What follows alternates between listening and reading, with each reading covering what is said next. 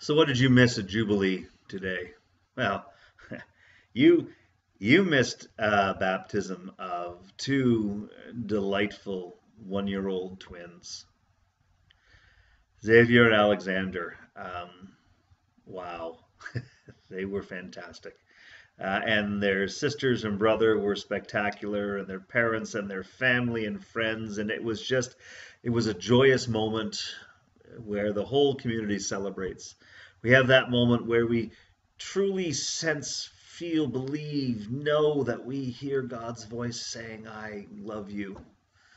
We live out that invitation to be community together, to discover God's will, to share God's love. And we do it with water, and we do it with the Holy Spirit. And it was a great day. And that's all we needed today. However, it was also Trinity Sunday. And it was also a day when, when some of our regulars weren't available. Our, our, our music director had to be away uh, at the last minute. Our, our choir mistress, the, the, the, often the heart and soul of our choir, she had to be away.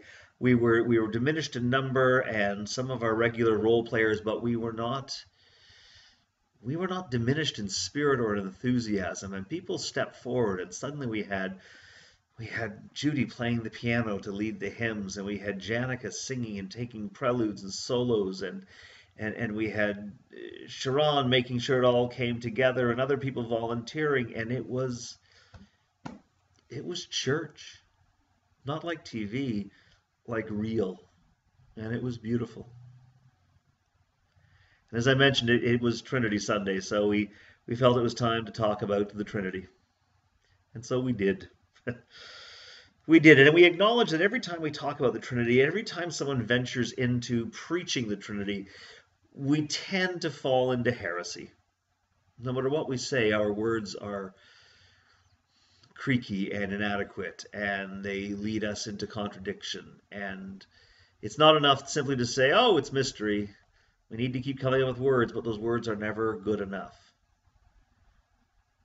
But they're only insufficient when we're talking about theology, when we're talking about philosophy, but in reality, in reality, there is a magic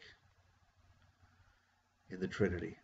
The Trinity that invites us to, to connect with a God that fills us with awe, a God that we cannot explain.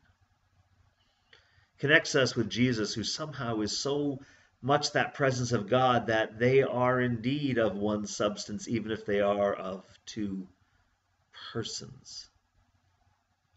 And knowing that, we begin to understand what redemption really means. Not being pulled out of the muck, but by being claimed.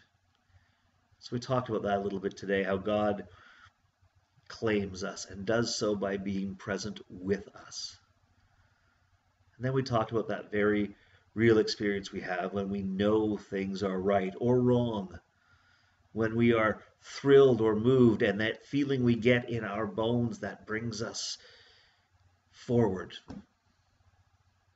And so we recognize that the Father, the Son, the Holy Spirit are hard to describe in words, and the relationship is difficult to to explain adequately. There's always a flaw, there's always a mistake. We always fall into a little partialism or modalism. We used all sorts of great heresy words. But we all know that feeling in our bones. And we all suspect the power of such redemption. And when we allow ourselves, we can be filled with awe.